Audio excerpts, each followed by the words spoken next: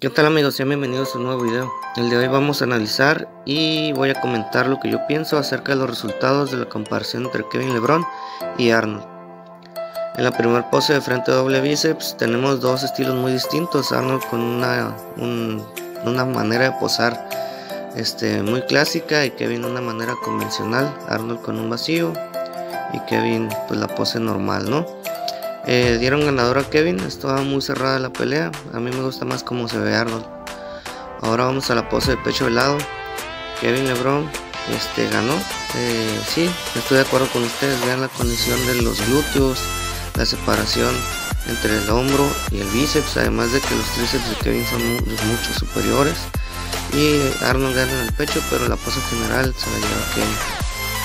Ahora la pose de espaldas.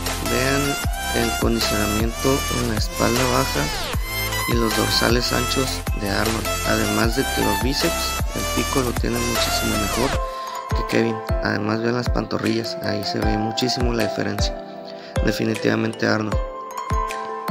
Ahora pasamos a la pose expansión de dorsales, vean el tamaño de los hombros posteriores de Kevin, la densidad y la anchura de la espalda el tamaño de las piernas y las extracciones en los glúteos. Definitivamente gana Kevin y por mucho. Ahora pasamos a la pose de abdomen.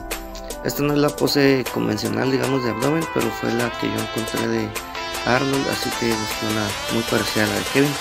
Y sí, este, Kevin gana y por mucho gana la diferencia de condicionamiento, extracciones en el pecho en Kevin los oblicuos, el abdomen muy bien definido, los hombros, definitivamente Kevin.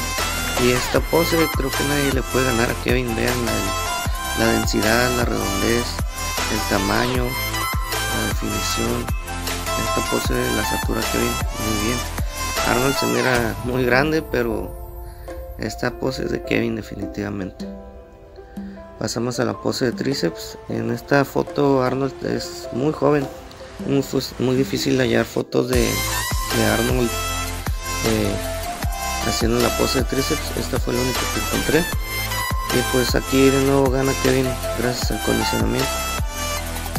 Arnold se ve bien, tiene un tríceps muy grande, hombro, pecho, pero se mira como blando, digámoslo así. Eh, Kevin gana y por un buen margen. Ahora pasamos a la pose más musculado en forma de cangrejo, como lo dicen. Esta pose sí definitivamente la gana Arnold. Aquí pasa al revés, es un Kevin joven, digamos del año 92 creo. Y Arnold pues ya en su, en su etapa cuando estaba de ganador, ¿no?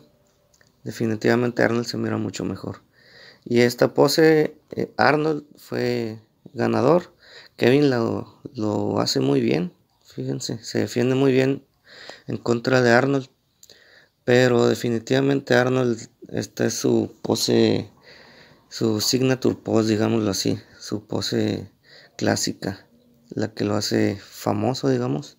Y pues en general una batalla algo pareja, 60-40 ganó Kevin Lebron. Estoy de acuerdo con los resultados.